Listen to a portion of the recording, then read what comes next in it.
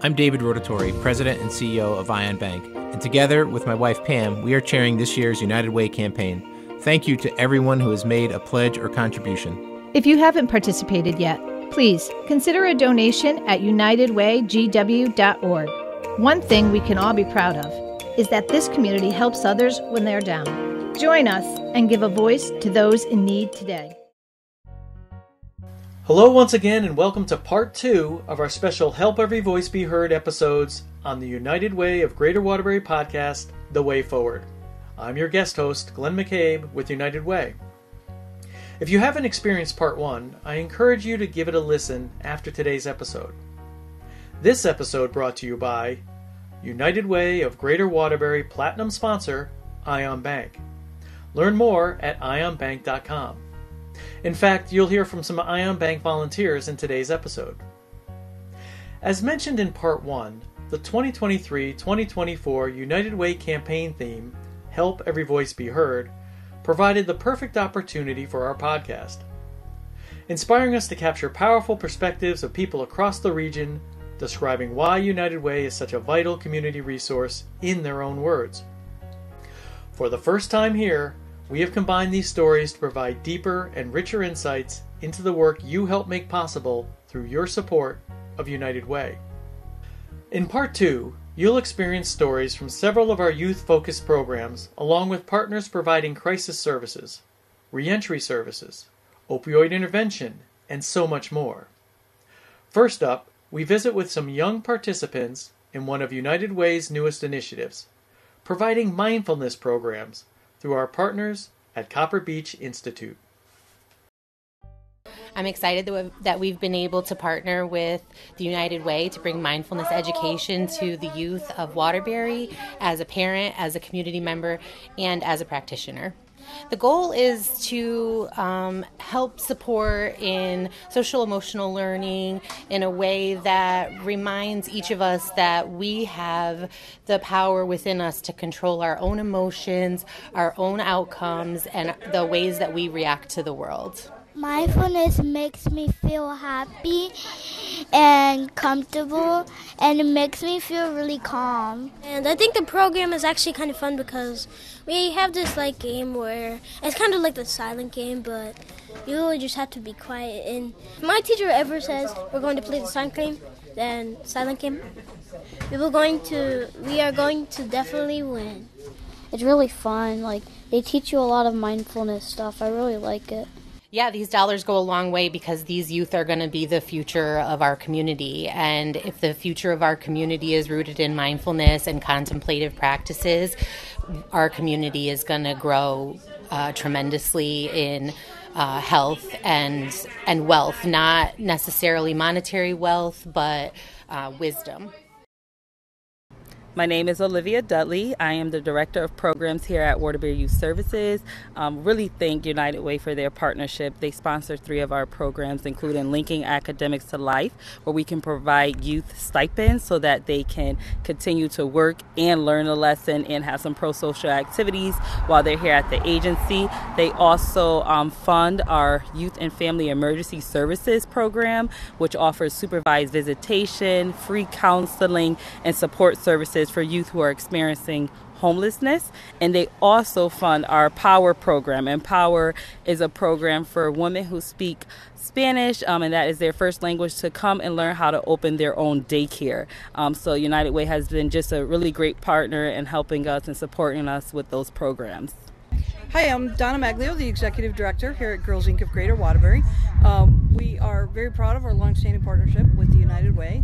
So our girls, right now we serve girls 5 to 18, and they go on, they are life ready. So some choose to go to college, trade schools, um, start their own jobs. The programs here are uh, learning through play, hands-on, minds-on. So everything that they learn here takes them through life, through every step of the next way. Social, emotional, physical, learning through play, learning through failure. Um, all of those things are encouraged, which keep our girls uh, learning and striving for that next thing they want. Uh, Jim Rourke, uh, Greater Waterbury YMCA CEO. Uh, the relationship with the United Way, uh, I've been a part of the Waterbury Way now for uh, 13 years. Uh, such important resources that the United Way provides to the Y, uh, supporting our school readiness program, our uh, Berkeley Rec Center, as well as our camp programs. Um, it's incredible the work they do. Um, they also support our after school programs as well. Um, our clientele is that we support families before and after school programming, our preschoolers ages 3 to 5. Of course, you know, your other programs at the Y, such as swim lessons and adult classes and all that type of stuff. And collectively, we service about 22,000 people. We're fortunate enough the United Way comes and supports us on um, different community cleanup days uh, over at the Y, the uh, Day of Caring, um, as well as coming into our preschool programs and reading to our little ones, which is great. Hi, I'm Gary Steck. I'm the CEO at Wellmore Behavioral Health, and the United Way um, has been a long-term funder for decades. I, I've been involved for 25 years, both as a donor and also as a recipient. Thousands and thousands of, of families and children and adults are served every year. Without the United Way, we would be lost. Uh, thank you for your long term support. We really appreciate the way in which you intervene and help us with children's mental health. We partner with the United Way in many different ways. So, we're the mobile crisis provider for this region. So, 211 obviously is a key partner in that they filter and um, connect us with cases of the people that are in most risk, and we then sends our teams out to them. But there have been many dozens of projects over my time in 25 years. Because the needs of Waterbury and Greater Waterbury constantly change, we have to reprioritize when there's a new arising need, and the United Way is always at the center of that. Hi, my name is Anne. I'm here with Ion Bank's team. We're painting hallways and walls at the Morris House it's great to be involved in the community. It's a nice way to get out um, and do our part for Waterbury and for United Way. Yeah, we identify many opportunities in the community for all of our employees to volunteer in the community. Yeah. We're yep. thankful to work for an employer that actually supports volunteerism and activism so that we can be involved with our community. Appreciative it doesn't even begin to express how much thanks we have for the volunteers that are providing their time and talent today. We are painting away here. I have been working with Day of Caring projects for 17 years. And this by far is one of the best. We have the we have three teams of volunteers in here today all at once. That's never happened to us. We are at Morris House, and uh, which is a recovery home for uh, men, and we have been in dire need of volunteers to roll up their sleeves and get down and dirty with us. And that's what's happening today, and great things are coming from it. Um, with the partnership today, why it's so amazing. It's so important for our clients to see the community coming in and giving back. You know, this is where they live, this is where they are every day, um, and it's an important place for their recovery and stabilization in their recovery. So to see the community come in and help make their their home somewhere um, that's nice to be and nice to look at is really important as well. Morris House is a program that is underfunded by our grant providers. Um, and the state particularly.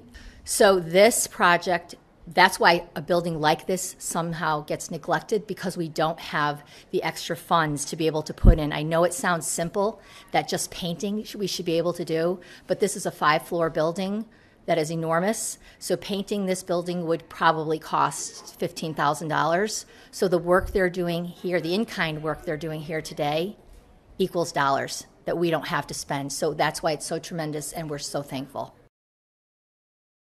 So we work closely with the Department of Correction, the reentry counselors in all of all of the facilities across the state, mm-hmm. and so we get referrals from DOC, whether you know a week, two weeks, a month out that they're coming. People uh, on a Friday afternoon, we've got someone who's coming to your doorstep, right? Mm-hmm. And so before these centers existed, uh, so we run the one here and the one in Hartford. They were dropped off on street corners. So in Hartford, on the green, you Clear know, Lafayette bag. Street, mm-hmm. on the mm-hmm. courthouse run for the women at six in the morning. Mm-hmm. What's open at six in the morning? And you're dropped there with, if you're lucky, belongings. Um, lucky if you have identification. Lucky if you have something that says who you are, right? And so now these centers are, are imperative for those coming back. And then we know if they're homeless, they tell us if they're homeless, housing insecure, do they have a residence, are they going to our AIC, um, do they have identification. So we know all that ahead of time. So just want to, you know, obviously thank the United Way of Greater Waterbury. Um, Karen Mello has been part of our reentry council for years. Her involvement has been, you know, really critical. Um, she, per, you know, lets us know when there's opportunities that that can um, offer services to our participants, such as the VITA um, and also the Bank On program, where we had a number of our participants been able to open bank accounts, which is just amazing. Um, you know, really making them feel like they are really part of a community. So, really grateful for all that United Way has been able to, um, to, to, to do to support this effort. So, my name is Rob Lambert, and I'm the President and Executive Director of Connecticut Counseling Centers. Uh, we are a community based nonprofit, um, and we have two clinics in Waterbury, uh, Connecticut. And uh, at these clinics, we provide a variety of outpatient behavioral health care services uh, for mental health and substance use disorders. One of our largest programs and one of our fastest growing programs, unfortunately, is our opioid treatment program. So, this program provides services to people who are uh, physically dependent or addicted on opioids such as heroin, fentanyl, prescription narcotics. Uh, our partnership with the United Way is vital in ensuring that uh, folks have access to care regardless of ability to pay. Uh, the funding that we get from the United Way uh, helps pay uh, the treatment fees for patients who do not have insurance or do not have access to, in, to insurance. Um, or perhaps they have insurance, but because of copays and high deductibles, uh, they can't use their insurance. Um, it's very, very important that we try to remove as many barriers as possible. Uh, one of the best ways to address the overdose epidemic is to ensure that people have seamless access to care. Uh, so, what this funding does, it removes one of those potential barriers, which is the cost of treatment. Uh, so, this is really important funding. Uh, to ensure that folks uh, who lack financial resources are able to get into treatment when they're ready to come into treatment. Because oftentimes that window of motivation uh, closes very quickly. So we have to be ready. We have to uh, make sure that access is immediate when the person steps forward and says, okay, I'm ready to get help. We value our, our relationship with the United Way. It's been uh, a long one. Um, and we certainly value the help uh, that they've provided. they've been a great partner in our efforts to uh, address the opioid epidemic. How do you decide who to help and who gets left behind? How do you choose one of these programs to support over another? Thanks to the almost 50 programs and initiatives supported by United Way, luckily you don't have to choose. One gift to United Way does it all. It's how we help every voice be heard. That is the power of United Way. When we know more, we can all do more. Thank you for taking the time to listen and for your support. We'll see you next time on The Way Forward.